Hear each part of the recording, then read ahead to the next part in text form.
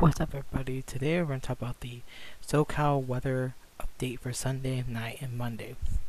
Well, Sunday and Monday actually. Expect stick of showers and storms Sunday Monday for SoCal.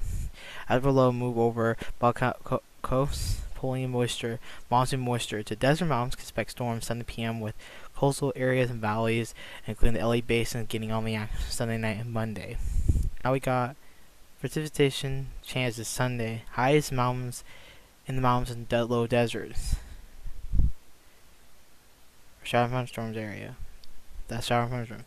Sunday night it starts to lift, increases chances of rain for the whole area. Mostly the Inland Empire, like Riverside Mountains area, low deserts, mountains will get the biggest chance for Sunday. Even LA is getting some rain too.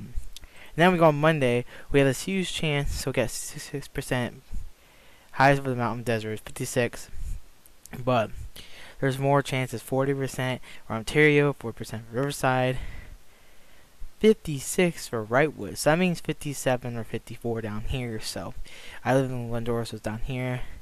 Uh, 59 for Yucca Valley, 50 for Palm Springs. San Diego, you're getting 30%. So not not a lot for Monday. You are gonna get a little bit on that on Sunday and Monday, but not a lot of rain, for fortunately.